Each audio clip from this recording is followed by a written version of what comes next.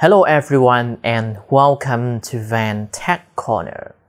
In this video, I would like to try using this graphic card from NVIDIA. This is the GeForce GT 620 OEM with 512MB of DDR3 RAM and this one the TDP is around 30 watt so I believe it still needs an external power adapter. So right here is a Zima board. It had a PCIe X4 slot just right here. And then this is the official recommended power supply from Zima board. This is a 12 volt and 3 amp. So totally we have 36 watt of power. And for the Zima board, I also connected uh, SATA and I'm testing it with Windows 10. So first of all, I will connect my Zima board to my monitor to power it on first. And after that, we are going to try connect this one to it. Okay, let's do that.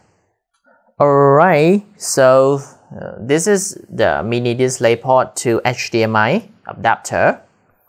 And this is the cable to my monitor. So I'm going to connect it like this and then connect the audience to my Zima board. Right, let's have a quick check. Okay.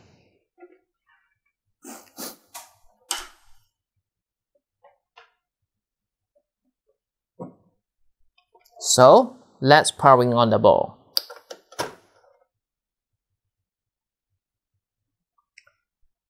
Okay, so we can see that the Ethernet port is light up and the power also light up.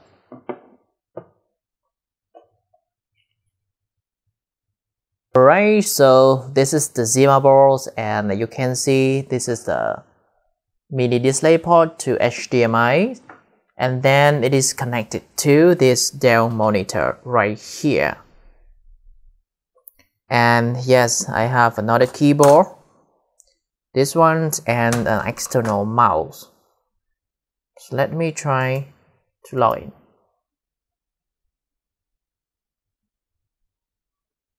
Alright, so we can see that the screen resolution is full HD and we have the refresh rate is 99.940 Hz. Okay, so the display is detected at Dell P2218H. Okay, so that's good and now I'm going to power off the Zima board and then connect the external graphic card which is the uh, GeForce GT620 Alright, so the device has been powered off right here. So let's remove the power connector first and then let me try to connect this graphic card to the Zima board just like this. There a little bit of space so I need to put something to hold it nicely. Right so let's remove this adapter and directly connect the HDMI cable to this VGA it should be like this Alright, everything looks right. So now let me connect the power adapter and let's powering on the Zima board. Alright, so unfortunately, there no signal at all, so I think something is wrong. And actually, I have tried this before. If you are going to connect an external VGA, you need to either go to the BIOS to change the setting to external graphic card or you need to install the driver first. Alright, so let me connect another USB cable to it, the network cable. Then connect back this adapter. Remove this one first then connect back.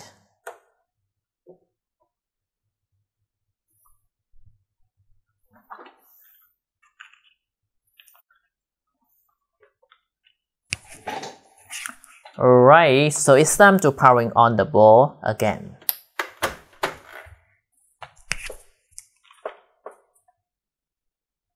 Alright, so this is the BIOS settings of the Zima board. And to access this one, shortly after the device powering on, you can spam the delete key to go to this menu. So let's go to chipsets and then graphic configuration. So by default, the primary display is integrated graphic device. Let's try to change to PCIe. Okay, I'm not sure if it works, but let's give it a try. So let's go to save and exit and then let's press save change and exit. Okay. Yes. Perfect. So we start to see the signal coming out from the graphic card. Okay. So let's check it. Alright, so this is the Zima board and this is the GeForce GT 620. The HDMI cable goes straight to my monitor right here, but unfortunately, window not loading. And we can see that their keyboard after Windows 10 had booted. Alright, not sure why it's going wrong. Let me see. So unfortunately, after powering on the Zima board, I can see the window loading screen and then it's go to this point with uh, a white mouse and then nothing at all. So let me give it another try and this time I'm going to connect this one. Alright. Oh, actually we see something up and running. We see some flickering Perhaps window is trying to install the driver. Alright, so they're not thing. Alright, so now I'm going to connect back my monitor to the internal DP port of the Zima board and I'm going to install the driver inside Windows and after that I'm going to switch back to this one and I have checked and confirmed that this will work. So let's do that.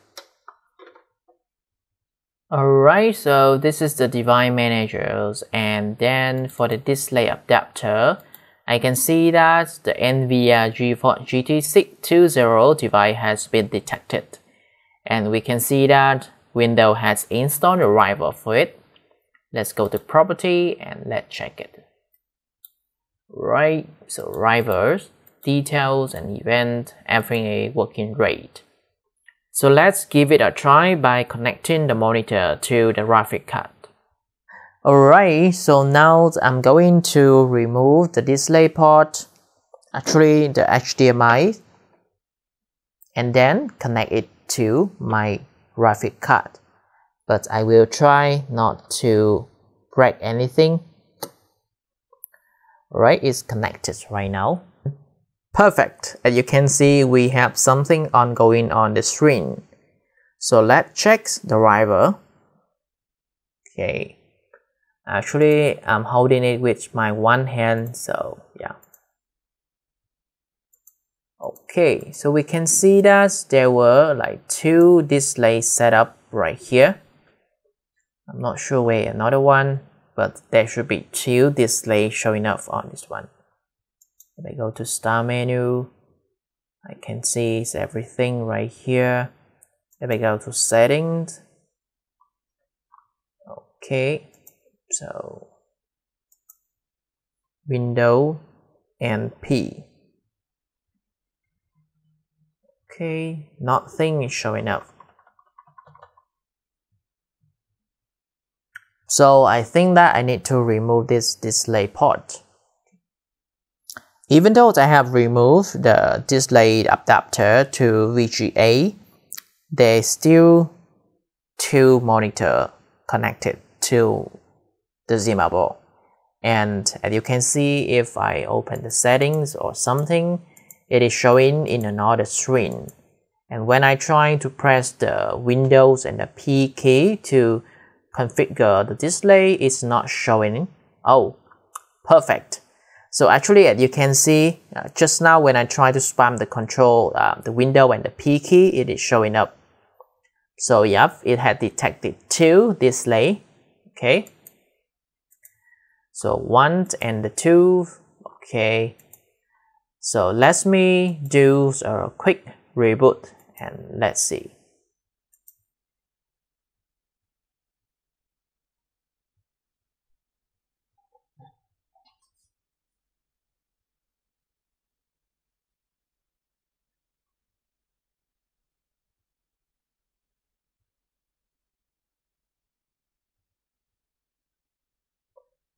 Alright, we can see that window is loading.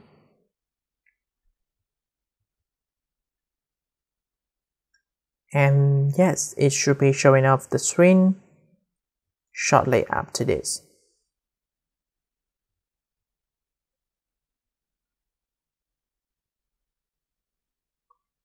Okay, that's good. Let's log in.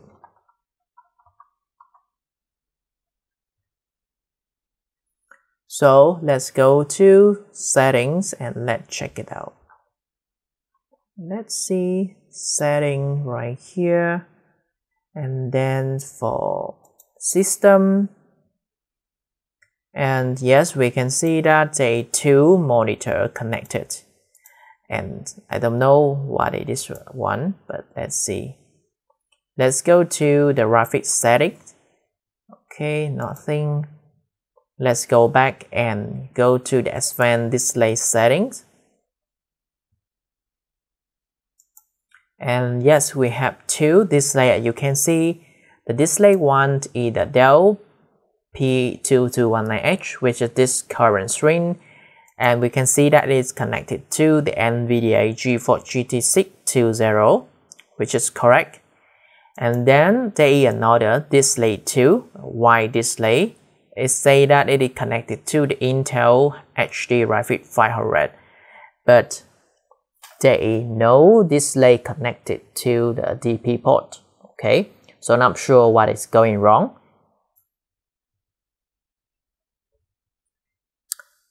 But anyway, it is working right and I'm going to give it some tests. Alright, so let's go and check out the setting. So right now everything is very low. Let's press OK and let's see.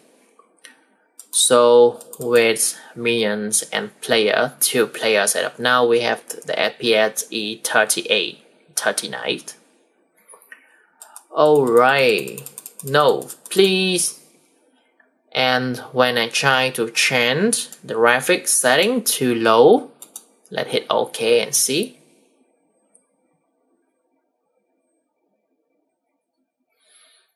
We can see that it starts on the loading screen. I'm not sure if the game crashed, but ah, okay, it just refresh. Let's buy some things. Alright, let's try to teleport to this one. And yep, we can see with the setting to low, the FPS right now is 40 actually it's dropped to 37 okay. So now let's change the graphic to uh, it say that's average load but I'm not sure what is the settings in English. Let's give it a try. So the FPS brought to 35 36 okay so now I know what's going on. So the character quality um, average. And then the environment quality low low and low. Let's try to change it to average. Everything average. The character qualities environment effects and also shadow. Oh Cho'Gath killing me. This is not good at all but okay. So yes we can see that the FPS brought to 18 and now it go up to 37 So I think that maybe because of the power consumption, uh, we only provide 36 watt of power to the Zima board. That's why we have this FPS. But let's see what is happening right now. So when we change the graphics setting to average, we can see that the FPS is 30.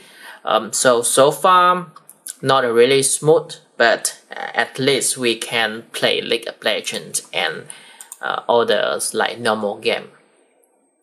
Okay, so all of this were done with the Zima boards and the GT620 with uh, 512 MB of DDR3 RAM. Let's give it a last try. Let's change it to average high. not sure if it's going to work, but let's do that.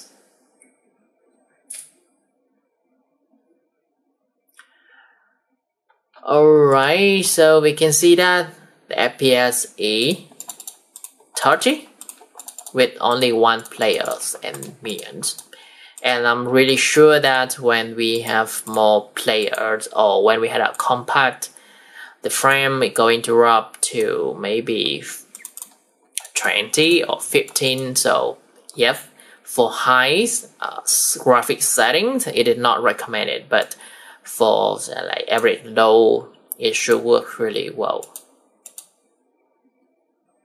So that's all for this video. Thanks for watching and see ya